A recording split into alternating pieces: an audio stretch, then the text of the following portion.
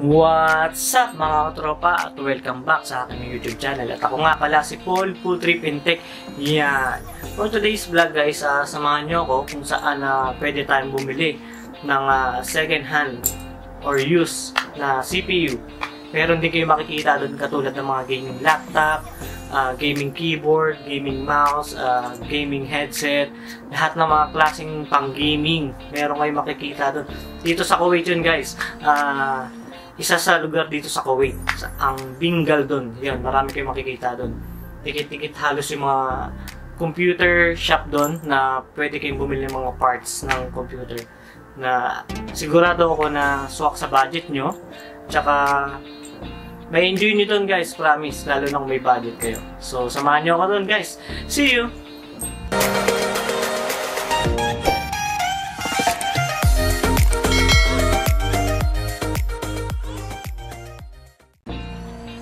Papunta na kami ngayon sa kung saan kami makakabili or makakapagtanong-tanong ng mga PC parts, mga laptop parts.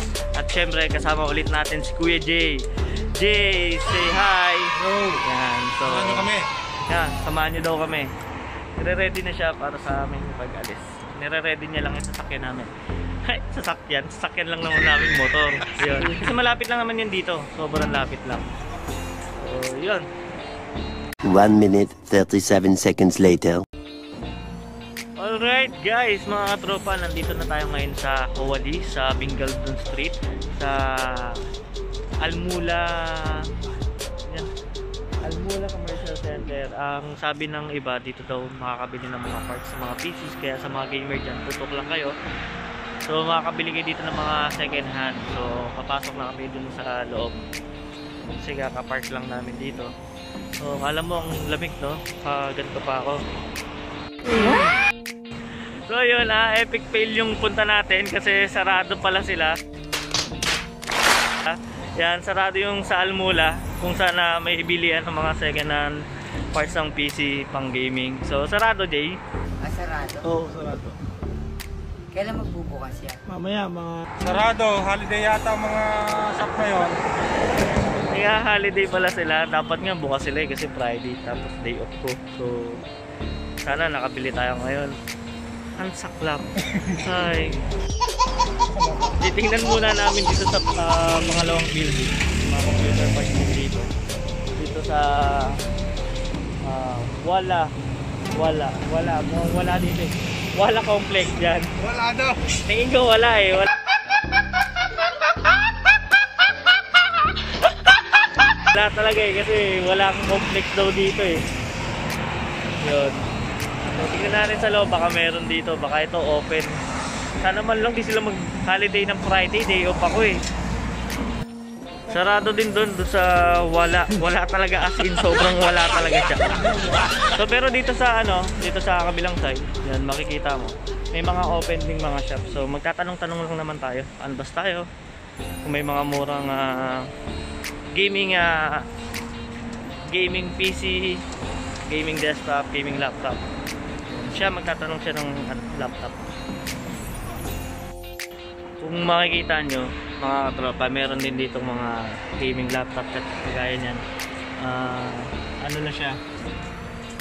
ROG na. So, tanong natin kung magkano. Father, uh, how much uh, this kind of laptop? This uh, Asus. This one how much? This I give you 300 kids. Use one this. Well. So, 300 KD yung price niya. So, mura na siya para sa gaming laptop. Pero second hand lang siya. Sa estimated price natin sa ah, brand niya, maabot din ng 500 something. Yan. Tanong pa tayo. Tanong tayo. Ayun, so tingin-tingin pa tayo sa iba. Puro laptop yun nandito.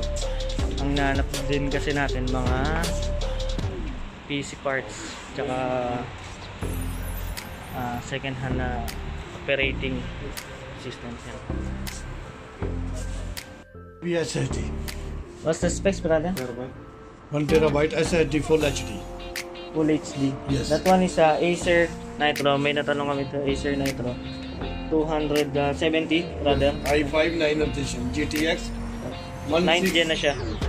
Yan. 1650. Ito yung full specs niya.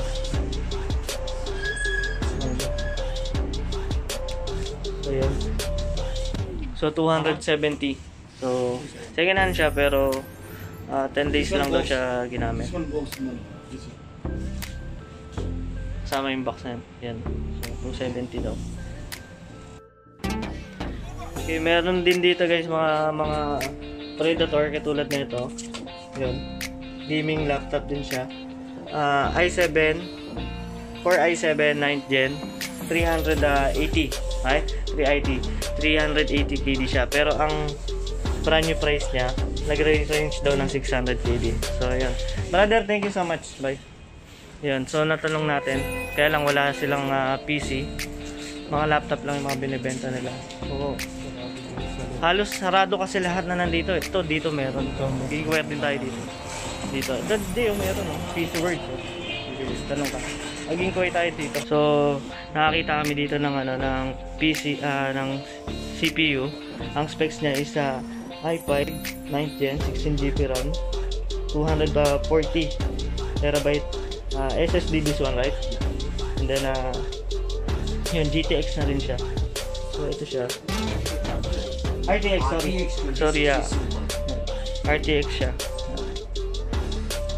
Siya guys maraming parts dito this one is the 300 right Itong malakas to. So, ROG.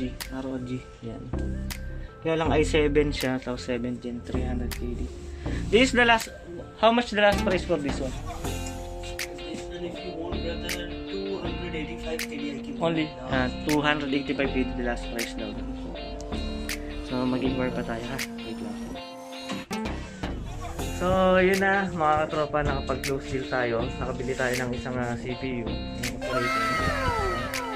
Ah, worth ah, 185 which is ah, okay na siya. Ang specs niya guys, ah, Core i5 9th gen. Ah, sakto lang siya para sa ganung presyo. Plus sa 240 SSD 1 terabyte ah, and 1 terabyte. Then yung graphic card niya is a 1660 GTX. Okay yon So 1660 okay yun para sa gaming. Sa editing, para sa akin okay din yun. So sobrang panalo na siya. Ah, yung GTX niya is a super, not a normal. Okay? It's not normal. And then ah, 6GB na siya, so not bad. The normal one is a 4GB. So okay na okay yan. So yun, nakapag-close deal ako. Goodbye. Goodbye Ipon. Thank you. so yun na. So ina-assemble lang ni Kuya. Thank you brother for that good deal. Yeah. Yan, so nakipag-good deal sila. So guys, ah makakabili din kayo dito ng iba't ibang klaseng ah, laptop, ah, CPU, mga parts ng ano. Meron ding mga may mga monitor din sila. Yan, may mga parts ng PC. Sabi ko nga, may brand new, may second hand. So, yun. Okay na okay guys. So, babalikan ko kayo mamaya kapag ka na-assemble ko na siya sa bahay. Sa ngayon, wala pang monitor. Baka gamitin ko muna yung TV ko. See you later guys. Yan mga katropa, sa wakas nakauwi na tayo after 30 minutes. Yan. So ito na yung CPU na nabili natin mula sa PC World uh, Hawali Kuwait. Yan. So shoutout sa iyo. Brother, thank you sa pagbibigay ng malaking discount sa akin. Sulit na sulit. Tsaka ang ganda niya, at kahit na second hand siya, ang kinis pa niya. Sobra. Good as new, ika nga nila. Diba? Ganda, sulit na sulit yung ipon natin na bye-bye. So anyway, uh, thank you kay brother uh, Abdullah. Yan, thank you sa iyo sa pagbibigay ng uh, idea kung saan ko siya pwedeng bilhin. Saan ako pwedeng bumili. Thank you. Pati na rin kay uh, brother Colaso, like Del Rosario. Yan. Ilalagay ko yung uh, page nila dun sa description na rin para ma-follow natin, ma-follow nyo. So, magsuportahan tayo mga katropa. Yun. So, thank you sa inyong dalawa. So, thank you guys sa pagsama sa akin. Sana nag-enjoy kayo. Tsaka sana sa susunod, samahan nyo ulit ako kung saan man ako magpunta. So, paano guys? See you in my next vlog!